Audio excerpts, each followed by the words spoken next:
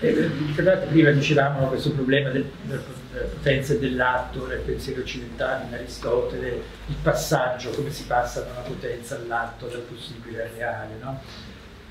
E per esempio, quando Aristotele si interroga su questo concetto di, di come si fa a passare dalla potenza all'atto, elabora questa categoria che in greco si scrive, si scrive una parola che è exis, che exis è il sostantivo del verbo eco che significa avere. Infatti viene tradotta come abito, cioè com'è che noi possiamo avere una potenza?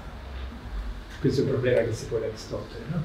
E quindi cerca di pensare il modo, per esempio, com'è che l'architetto ha la sua potenza di costruire, com'è che lo scultore ha la sua potenza di costruire, com'è che il pianista ha la sua potenza di suonare piano, elabora questo concetto che secondo me è importante e ne ha l'abito, però appunto che significa avere l'abito di qualcosa.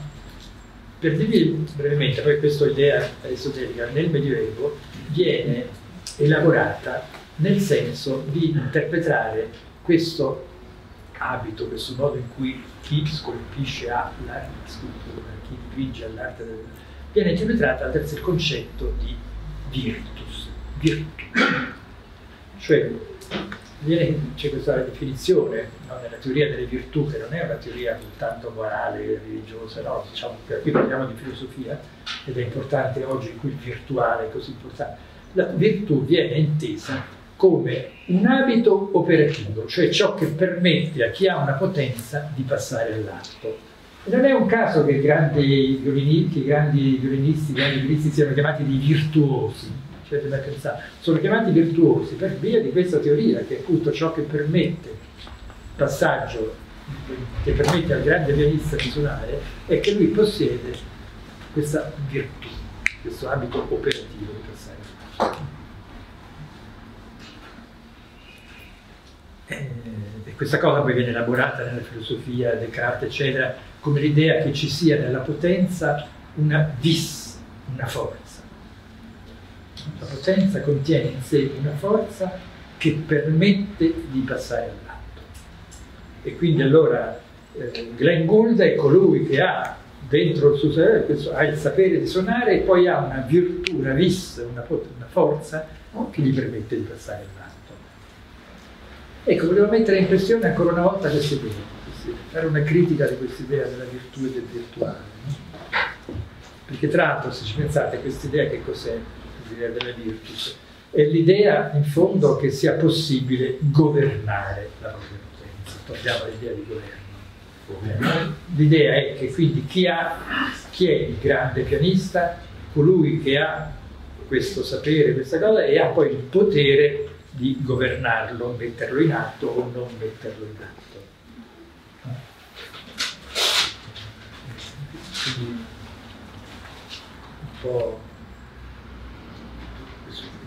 la virtù il virtuale diventa appunto una specie di governo operativo della potenza.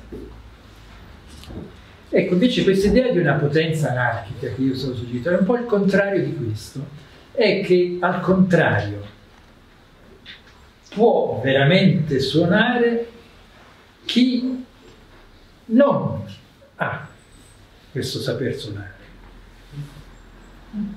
Quello che diceva, ricordate questo esempio di Kafka del campione di moto che dice guardate, io non so suonare per nuotare, io non ho mai imparato a nuotare.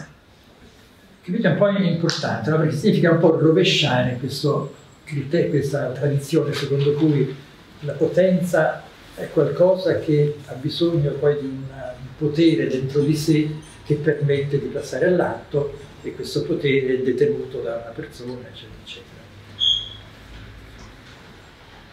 Ecco, di solito appunto quindi alla domanda, per esempio, posso scrivere? Si risponde eh, sì, perché io so scrivere, quindi posso scrivere perché so scrivere, questa è un po' una risposta, no? Questa idea appunto di un, di un sapere e di un abito, di una virtù contenuta in questo sapere.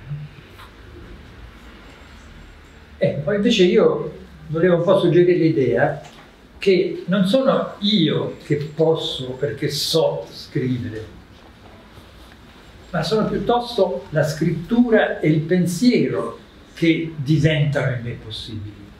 Non sono io che li governo. Cioè, veramente eh, capace di un atto poetico non è una persona che detiene il potere poetico e a un certo punto, non si sa perché, decide di passare l'atto.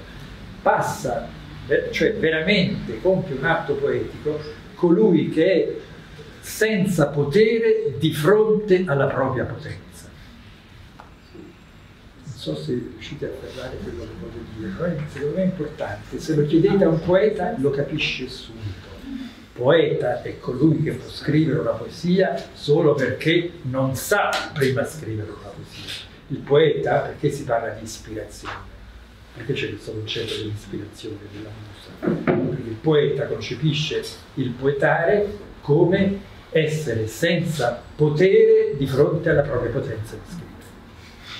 Non avere il potere. Quelli che hanno il potere di scrivere sono gli scribacchini che riempiono dei loro romanzacci l'orrenda editoria che inonda le librerie completamente inutili. Quei pochi libri che meritano di essere letti sono stati scritti da qualcuno che non sapeva scrivere. Perché chi sa scrivere pretende di avere tutto un sistema di regole, io metto il tavolino e siccome mi hanno detto, l'editore mi ha detto che per avere successo devi mettere questo, devi mettere quest'altro, devi usare questo tipo di scrittura, periodi brevi, cioè, questo è quello che sa scrivere. No? Ecco, invece appunto chi compie un atto poetico, chi si pone senza, si pone una potenza naturale, cioè è senza, accetta di essere senza potere di fronte alla propria eh, potenza. No? Però questo appunto non è affatto strano, va anche col fatto che appunto la nostra cultura è dominata da questa idea appunto invece di un primato del sapere.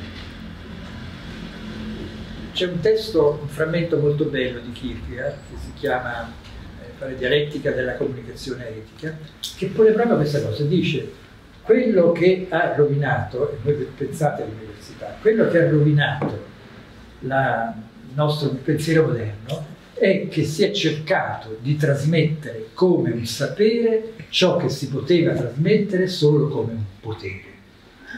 Esatto. Cioè si è voluto trasmettere il sapere qualcosa e non il potere qualcosa.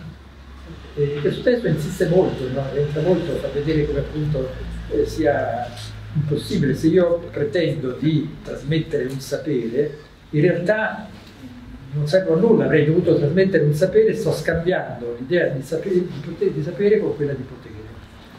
E questo in generale è un po' proprio l'idea della modernità, se ci pensate. L'uomo antico, se dovessi dare una definizione, qual è la differenza tra l'uomo antico e l'uomo moderno? L'uomo antico è un uomo che può, l'uomo moderno è un uomo che sa Sapete per esempio questa cosa curiosa che in greco non c'è il concetto di volontà? Tantissimo. Perché appunto loro non pensavano di poter agire come qualcosa che con un atto di volontà, la creazione di Dio che decide di creare il mondo, gli era assurda. E appunto l'uomo, il concetto per loro importante era la possibilità, il potere, ciò che posso fare, non ciò che so fare. E quindi questa importante idea, diciamo, perché anche la nostra università non va? Perché la nostra università, tranne eccezioni, si fonda sull'idea che si tratti di trasmettere un sapere, ma non un potere. Quindi si trasmettono poi delle nozioni inerti, no? Naturalmente c'è qualcuno, vuol dire le eccezioni ci sono, c'è qualcuno che mentre trasmette qualcosa trasmette anche il potere di farlo. Però diciamo la, la concezione è quella, no? dire, c'è un sistema, un sistema, non di sapienti, ma di saccenti. saccenti significa, però uguale, sarebbe la stessa parola, solo che per fortuna si distinguono i saccenti dai sapienti. E questo è anche importante, perché è importante? Perché è anche un problema politico. Una delle insomma, cose importanti che Michel Foucault ha fatto notare perché ne parla sempre tanto dei saperi, è l'importanza del rapporto tra sapere e potere nella nostra cultura. Cioè, il sapere è sempre legato a un potere qui nel senso di poteri istituzionali, eh? non del potere del nel senso di poteri istituzionali. E appunto molti lavori di Foucault mostrano proprio come l'elaborazione di un sapere nella nostra cultura va sempre di pari passo poi alla strutturazione di una forma di dominio, di potere corrispondente a questo sapere. Quindi appunto sono, come dire, sempre anche uno strumento di governo i saperi. E, e questo appunto è molto importante perché, per esempio, voi sapete chi era Majorana? Allora, Majorana è un grandissimo fisico e matematico italiano, uno dei il massimo, che nel 1900, che il 25 marzo 1938 scompare e non fu mai più trovato, né morto né vivo.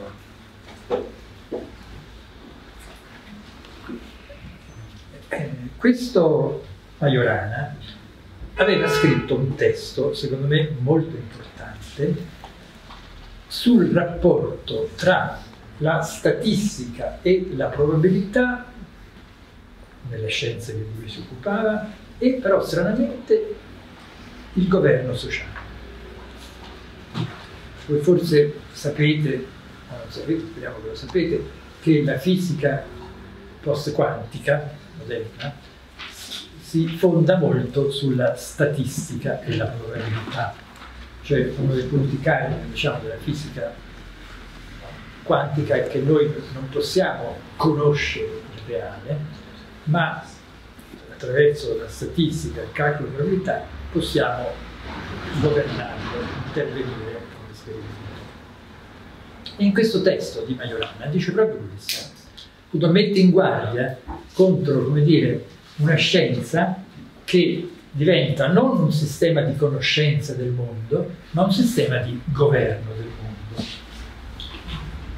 E se lasciamo appunto la scienza, la politica è un po' questo, appunto, no? questi sistemi di, di, sapere sono molto tesi appunto a, a, non a una conoscenza del mondo, ma a un governo del mondo. E oggi questo è evidente, no? Tutti, incredibile, cioè come sia stata questa abdicazione della scienza, no? incredibile, cioè gli scienziati attualmente dicono una cosa e il suo contrario, delle sciocchezze senza senso e delle cose sensate, delle follie inaudite senza nessuna base e delle cose invece... È come se appunto la scienza avesse abdicato al suo compito di scienziatore, perché è ridicolo, perché è importante governare il mondo, intervenire adesso. No? La funzione che ha avuto la scienza oggi, no? la scienza, queste commissioni di delinquenti che stanno lì, no? che sono, sono, sono proprio eh, eh, perché l'hanno fatto per rendere governabile certo per renderla riconoscibile. E quindi appunto ecco, questa idea, non so se avete capito un po' questa idea di una critica del sapere, no? che è importante. E vabbè, tanto più, ciò adesso chiudiamo, tanto più proprio perché questa è la situazione, no? Tanto più eh, oggi mi sembra che la cosa da fare sia questa che abbiamo già evocato tante volte, quindi di creare all'interno di questa struttura una comunità che agisce con principi eventualmente altri, diversi anche semplicemente resistenti. Eh, appunto i paradigmi sono questi che ho cercato di delineare, quindi è importante in ognuno di questi ambiti eh, agire con un principio, per esempio questa cosa del senso della potenza anarchica è importante, cioè capire che la potenza che abbiamo non la dobbiamo pensare come un potere di, ma, ma proprio se l'accettiamo come priva di potere, ci permetterà di agire. È un po' come dicevamo prima su questi concetti come società senza classe, rivoluzione, se li pensiamo come qualcosa che dobbiamo realizzare in atto, eh, non producono il contrario. Se invece li manteniamo nella loro irreversibilità, proprio così ci permetteranno di agire. Sembra appunto che una potenza anarchica ci permetterà di agire molto più che una potenza che cerchiamo invece di articolare con un sapere, con un'intesa. Vabbè, adesso parliamo di...